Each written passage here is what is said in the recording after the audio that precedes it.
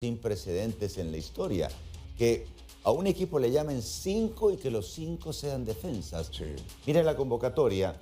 Está Marcelo Pereira, Carlos Meléndez, Christopher Meléndez que entra en lugar de Andy Nájar, Sí. Omar Elvir y Diego Rodríguez. Cinco defensas.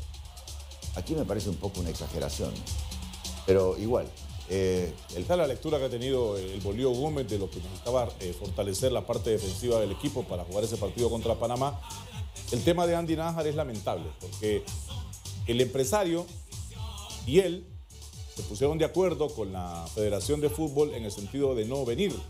Argumentan que el jugador está propenso a lesionarse y que para evitar que pueda recaer con las lesiones que tanto han perseguido a Andy Nájar, deciden que no venga al partido. Para mí la FENAFUT debería de exigir que este jugador Andy Nájar venga, así como exigieron Pero se que viniera Romel. Kioto. O sea, le hablaron a Gerardo Ramos, el gerente de la FENAFUT, el empresario. Tengo entendido que antes que Gómez difundiera la nómina, ya habían solicitado que Nájar estuviera ausente.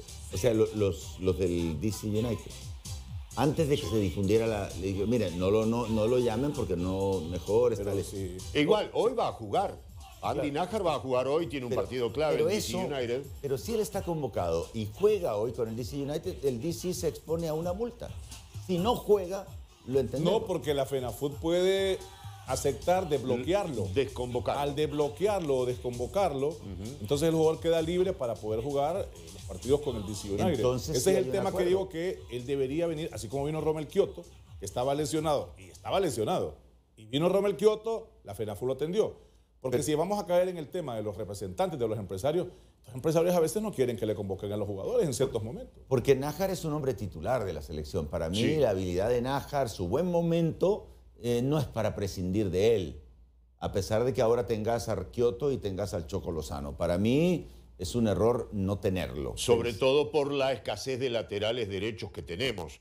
Solo queda Kevin Álvarez más alguna improvisación que se puede hacer con Christopher Meléndez o con el propio Marcelo Pereira. Pero no estamos para improvisaciones. Sí, estamos al borde, digamos, Honduras hoy, para ser francos, su posibilidad es el repechaje. Pensar en entrar directamente a los tres, yo sinceramente lo veo muy lejano. Y sin margen de error. Porque para- Sin que- margen tiene de que, error, tiene que ganar dos partidos de entrar. noviembre. De los centroamericanos, solo Panamá podría aspirar a mirar con cierta apetencia ese tercer lugar. Correcto. Pero relativamente, porque lo puede bajar Honduras el viernes.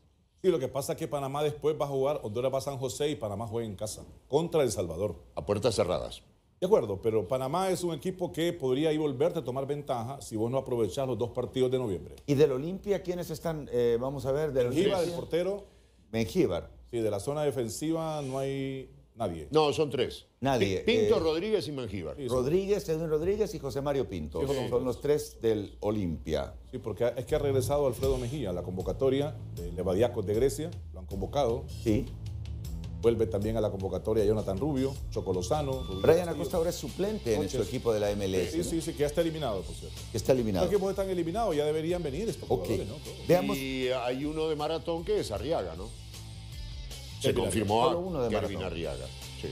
Bueno, eh, que, que igual no puede jugar con Maratón porque está suspendido. Ah, no, en el, en el juego de CONCACAF porque lo expulsaron. Aquí Y- lo bueno de todo esto es que no, no por complacencias periodísticas, ni del público, ni del gusto de nadie, sino que son jugadores que considero que tienen nivel para estar en la selección.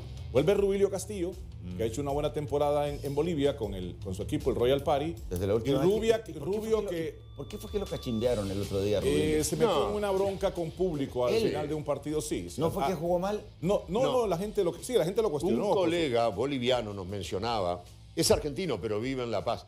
Eh, no, la gente de Santa Cruz de la Sierra, los fanáticos del fútbol son insoportables. Son, la verdad, este, muy, pero muy agresivos y provocativos. La gente de Santa Cruz de la Sierra.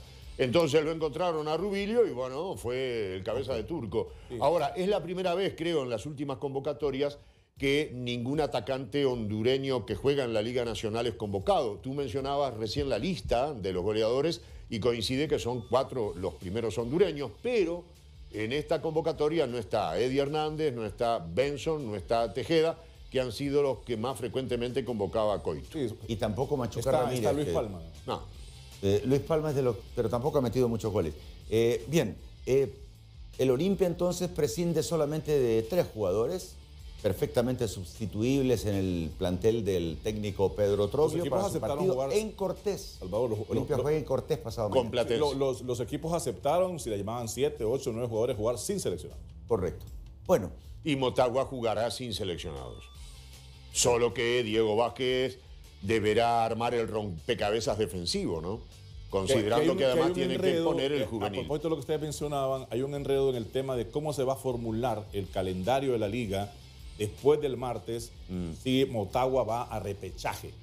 ¿Cómo lo va a hacer? Porque Claro. se superponen con fechas de la liga CONCACAF, porque el Motagua tiene que jugar semifinales y, digamos, estar en una hipotética final. Sí, ¿Cómo, pero cómo hay harían? ¿Cómo harían? El primer partido Motagua lo puede jugar el 20 del repechaje, ¿no? Pero ya el 23 o 24 no puede jugar porque debe ir a Canadá. Y la siguiente semana porque Pero- juega el 1 de diciembre. pero, pero hay un partido el viernes, que si lo gana Honduras a Panamá, que eso esperamos, la cosa cambia. Que si no lo gana, entonces ya el planteamiento es diferente. Si ganamos contra Panamá, el planteamiento es diferente que si se empata o se pierde. Vamos a una pausa comercial, regresaremos con el Tyson Núñez en nuestra mesa redonda.